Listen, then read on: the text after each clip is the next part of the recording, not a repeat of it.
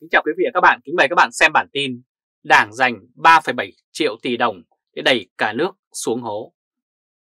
Hiện nay, doanh nghiệp nhà nước nắm khối tài sản lên tới 3,7 triệu tỷ đồng, tương đương với 154 tỷ đô la Mỹ. Trong khi đó, GDP của Việt Nam vào khoảng 408 tỷ đô la. Như vậy là khối doanh nghiệp nhà nước đang nắm một nguồn vốn xã hội rất lớn. Việc dùng những chính sách ưu tiên cho khối doanh nghiệp nhà nước đã làm cho thị trường cạnh tranh thiếu công bằng. Nhà nước làm chính sách riêng cho doanh nghiệp con cưng của mình, trong khi đó doanh nghiệp tư nhân thì phải tự bơi. Được đủ thứ ưu tiên và cấp vốn lớn nhưng khối doanh nghiệp nhà nước chẳng làm ra trò chống gì. Trong chuyến đi Mỹ của ông Phạm Minh Chính từ ngày 17 đến ngày 23 tháng 9 vừa qua, ông Thủ tướng của Việt Nam Phạm Minh Chính đã năn nỉ phía Mỹ công nhận Việt Nam là nước có nền kinh tế thị trường. Được biết, trao đổi thương mại hai chiều giữa Việt Nam và Mỹ năm 2022 là 129 tỷ đô la, trong đó Việt Nam thặng dư thương mại với Mỹ tới 95 tỷ đô la. Nếu Mỹ công nhận Việt Nam là nền kinh tế thị trường, thì thị trường Mỹ sẽ mở rộng hơn cho hàng hóa của Việt Nam và doanh nghiệp Việt Nam sẽ có nhiều cơ hội hơn trên đất Mỹ. Tuy nhiên, nhiều năm qua Việt Nam năn nỉ mãi mà Mỹ thì vẫn ngó lờ. Nguyên nhân là gì? Khối doanh nghiệp nhà nước đang chiếm một lượng tài sản khổng lồ và hưởng được rất nhiều chính sách ưu đãi. Như vậy, nền kinh tế Việt Nam sao có thể gọi là kinh tế thị trường đúng nghĩa của nó được? Bàn tay của nhà nước đang can thiệp vào thị trường rất thô bạo. Chính Đảng Cộng sản cũng hô hào rằng nền kinh tế mà họ đang xây dựng là nền kinh tế thị trường định hướng xã hội chủ nghĩa, chứ không phải là nền kinh tế thị trường đúng nghĩa của nó đâu. Hãy xem công ty nhà nước như EVN đã làm gì. Công ty này ưu tiên độc quyền mua điện và bán điện nhưng vẫn luôn than là thua lỗ. Điều đáng nói là tổng công ty than lỗ nhưng công ty con thì lại dư tiền gửi ngân hàng hưởng lãi. Họ được quyền ưu tiên không lo phá sản, nếu thua lỗ thì sẽ được cứu bằng tiền của dân. Vậy nên họ dở chiêu giữ tiền ở các công ty con, còn công ty tổng thì lại báo lỗ. Để mà đòi chính sách để nhà nước cho họ tăng giá điện bù lỗ. Cứ như vậy họ hút tiền của xã hội để trục lợi, trong khi đó họ mang tới cho xã hội một dịch vụ cực kỳ kém cỏi, gây tác hại đến đời sống dân sinh và sức sản xuất của doanh nghiệp. Được đủ thứ ưu tiên nhưng vẫn lỗ để đòi chính sách. Hay hãng hàng không quốc gia Việt Nam Việt Nam Airlines dù thua lỗ triền miên nhưng đều được nhà nước cứu Tuy nhiên cứu rồi thì họ lại lỗ tiếp. Dù vậy họ vẫn được nhà nước hậu thuẫn để kết nối với hãng Boeing trong chuyến thăm của Tổng thống Mỹ đến Hà Nội vừa qua. Trong khi đó Bumble Airways đang phải vật lộn với thua lỗ nhưng không thấy ai cứu cả. Con cung nó khác với con ghẻ như thế đấy. Nền kinh tế này không tạo ra sân chơi bình đẳng giữa các khối doanh nghiệp, nhà nước và tư nhân.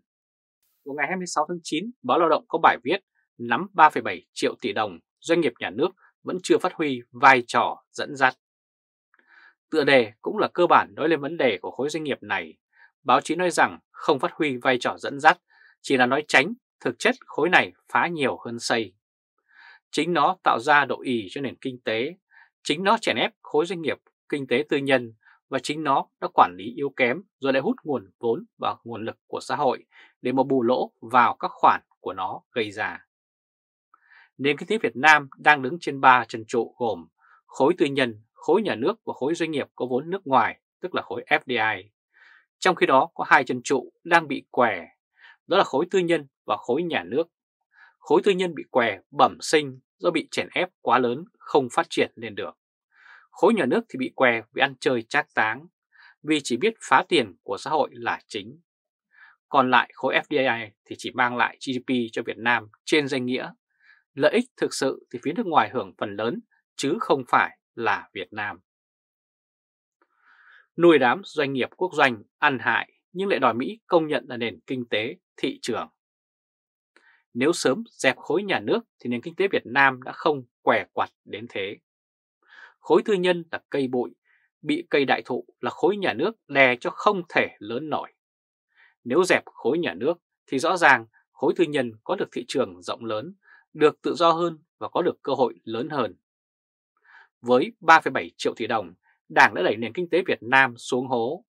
Nếu không có khối FDI gánh đỡ và lượng kiều hối khổng lồ hàng năm, thì có thể nói nền kinh tế Việt Nam đã sụp từ lâu rồi.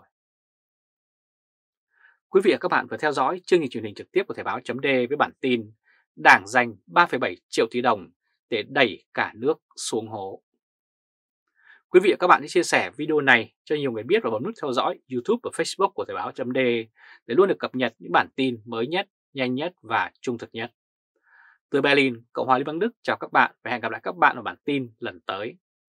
Trung Khoa Thời báo chấm Kính chào quý vị và các bạn, kính mời các bạn xem bản tin Công ty sổ số vét cạn sức người già, người tàn tật và trẻ em để thu lợi ngàn tỷ.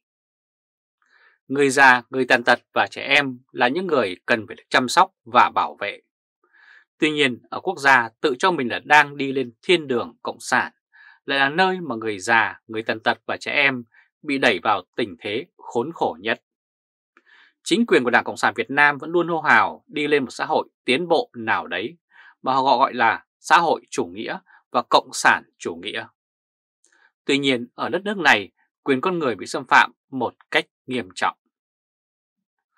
Trong tổng số 35.000 tỷ này, quan chức và nhà nước ăn gần hết, người bán vé số chỉ hớp được tí xíu để có cơm hai bữa. Nhà nước sẵn sàng bỏ ra trăm tỷ, thậm chí hàng ngàn tỷ đồng để mà xây cổng chào, xây tượng đài, xây lăng tẩm, xây nhà tưởng niệm vân vân cho các quan chức của họ. Nhưng không bao giờ chịu bỏ ra vài chục tỷ để xây trường, xây cầu cho trẻ em vùng cao. Ngay tại Hà Nội, trường công cũng thiếu nghiêm trọng, khiến cho phụ huynh phải vất vả xếp hàng ngày đêm để mà tranh giành cho được một vị trí nộp hồ sơ cho con. Đã không lo được cho người già, trẻ em, người tàn tật thì thôi, chính quyền của Đảng Cộng sản còn sử dụng sức lao động của họ để kiếm lợi ngàn tỷ. Tất nhiên là sử dụng một cách tinh vi, chứ không như các doanh nghiệp sử dụng lén lút hay những kẻ chăn dắt người già trẻ em và người tàn tật để đi ăn xin. Họ sử dụng gián tiếp để khi xã hội lên tiếng chỉ trích thì họ dễ bề chối bỏ. Lao động là vinh quang, trẻ em bán vé số để đảng được vinh quang muôn năm. Có thể nói ngành vé số ở Việt Nam là ngành sử dụng người già, trẻ em và người tàn tật nhiều nhất. Họ là những người bán vé số dạo, họ lấy vé số tại đại lý rồi sau đó đi dạo mời chào khách. Nếu là công ty xây dựng hay bất kỳ xí nghiệp sản xuất nào mà sử dụng loại lao động này thì họ sẽ bị xử phạt vì vi phạm luật lệ. Nhưng công ty sổ số thì cứ vô tư mà sử dụng họ Họ chẳng bao giờ lo lắng vi phạm luật lao động bởi họ là những công ty sổ số kiến thiết, tức là không bao giờ ký hợp đồng lao động với những người này cho nên họ không phải chịu bất kỳ một trách nhiệm nào. Có ý kiến cho rằng nếu không có công ty sổ số thì người già, người tàn tật và trẻ em làm sao có kế sinh nhài. Không thể lý luận như thế được bởi nhà nước đã có Bộ Thương binh và Lao động Xã hội là cơ quan chuyên chịu trách nhiệm về vấn đề này. Hàng năm bộ này được chi ngân sách rất lớn. Tại sao họ không chăm lo cho những người như vậy mà để cho những người yếu thế này phải tự đi kiếm tiền cực khổ? Tham ô thì ngàn tỷ, xây cổng trào trăm tỷ, xây tượng đài cũng hàng ngàn tỷ đồng, xây nhà hát vân vân để mà làm gì? Tiền đổ vào ngành công an như thác lũ để làm gì? Trong khi đó, những thành phần cần được trợ giúp thì chính quyền lại bỏ bê. Sổ số chính là hình thức cờ bạc do nhà nước bày ra, chẳng ích nước mà cũng chẳng lợi nhà đâu cả. Vào ngày 26 tháng 9 trên tờ báo Tuổi Trẻ có bài viết Sổ số đã ích nước đừng quên lợi nhà. Bài báo cho biết hàng loạt công ty sổ số kiến thiết thu hàng ngàn tỷ đồng mỗi năm. Số tiền mà công ty sổ số nộp vào ngân sách khá tốt, trong khi thu nhập của người bán vé số thì vẫn rất bèo bọt. Dù họ phải lăn lộn ngày đêm và luôn đối diện với rất nhiều rủi ro. Đây là thực tế rất đau lòng, thật bất hạnh cho những người vốn đã không may mắn lại sinh ra làm công dân của một nước Việt Nam Cộng sản. Họ bị nhà nước bóc lột không thương tiếc để quan to có nhà, có xe. Đảng vẫn thường rêu rao rằng sổ số kiến thiết là ích nước lợi nhà, Tuy nhiên, ích nước đâu chẳng thấy, mà chỉ thấy rằng ngành này đang làm lạm dụng lao động trẻ em, người tàn tật và người già. Đây là hành động bất nhân. Đảng đang đẩy đọa những người này chứ chẳng giúp ích gì cho họ được. Lẽ ra họ cần phải được trợ giúp, giúp đỡ để có cuộc sống tốt hơn.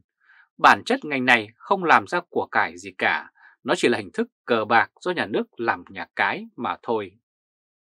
Tiền từ túi dân chảy vào túi nhà nước hàng ngàn tỷ, trong khi đó người bán vé số thì lại vất vả kiếm từng cắc để tồn tại trong xã hội khắc nghiệt này. Quý vị và các bạn vừa theo dõi chương trình truyền hình trực tiếp của Thời báo chấm với bản tin Công ty sổ số vét cạn sức người già, người tàn tật và trẻ em để thu lợi ngàn tỷ. Quý vị và các bạn hãy chia sẻ video này cho nhiều người biết và bấm nút theo dõi YouTube và Facebook của Thời báo chấm để luôn được cập nhật những bản tin mới nhất, nhanh nhất và trung thực nhất. Từ Berlin, Cộng hòa Liên bang Đức chào các bạn và hẹn gặp lại các bạn ở bản tin lần tới. Trung Khoa Thời báo chấm